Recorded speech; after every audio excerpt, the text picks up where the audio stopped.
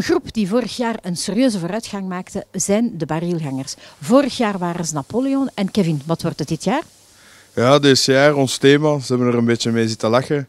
Eigenlijk is het een wetenschappelijke formule. Is vierkantswettel ismo plus verf tot de nulste is gelijk aan Caral 2020. En eigenlijk is dat gewoon een schone naam voor gekke professors. Wat moeten we ons voorstellen van Sjaar? Ja, dus uh, onze char is uh, opgebouwd uit uh, allemaal gekke professors, experimenten, ratten, dat ze experimenten hebben op uitgedaan, oude lusters, wat dat ze vroeger gebruikten, oude bandklokken en zo allemaal wat, wat dat je kunt um, ja, bij een gekke professor bedenken. Ja. Maxime, hoe zijn jullie op dat thema gekomen? Oh, na veel vijven en zessen veel nadenken is Kevin met het idee gekomen oh ja, nee, om gekke professors te doen. En dan hebben we overlegd met de gastengroep en dan zijn we ervoor gegaan. Jullie hebben vorig jaar al een enorme evolutie gemaat en toch doen jullie nog aan vernieuwing. Vertel eens, wat is er met jullie verf veranderd nu? Voor het eerste jaar doen wij mee aan, karo aan uh, carrosserieverf. Omdat we vonden dat toch uh, het moment was om de kans te wagen om het te doen. Omdat het meer glans geeft aan uw jaar eigenlijk. Ja. Wat hem nog mooier gaat doen uitkomen. Natuurlijk. Ja. Jullie bouwen breed, jullie bouwen hoog, jullie bouwen vol, hè? Ja, absoluut. Want als, uh, onze chair zal deze jaar zeer vol staan. Ja. Zoals je kunt zien. Ja. Wat moeten we ons aan het kostuum voorstellen, Kevin? Oh, het kostuum is eigenlijk hoe dat je eigenlijk een gekke professor kunt uh, voorstellen met zo'n lange frak. Maar dat zou wat stijf zijn, dus de vrouwen hebben er volume in gekregen. We gaan ook met onze experimentenkast op onze buik lopen. En ja, als je ons stoetliedje gaat horen ook, daar, daar vertellen we in dat onze experimenten soms een keer mislukken.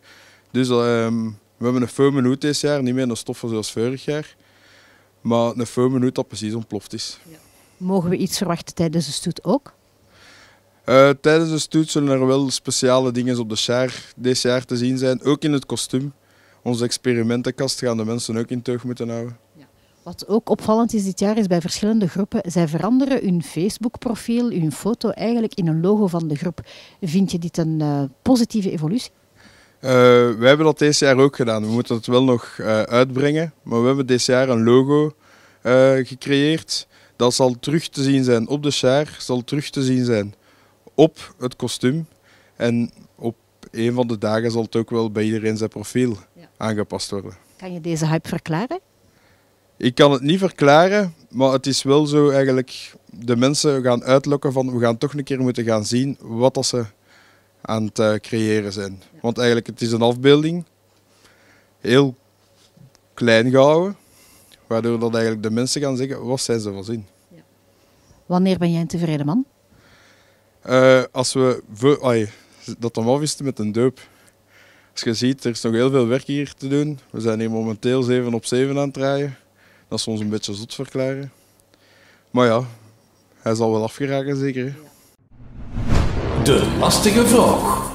Maxime, stel u voor, je komt op de grote markt en je verliest een schoen. Oh. Gewoon doorlopen, Sonja. Staat op nul.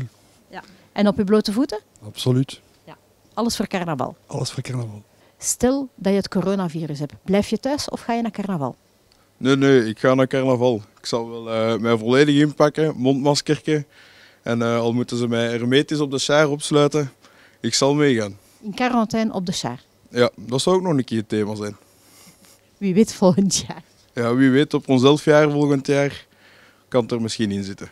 Oké, ik wens jullie alvast heel veel succes en een hele goede carnaval toe. Dank je, Sonja. De minuut. 3, 2, 1, start!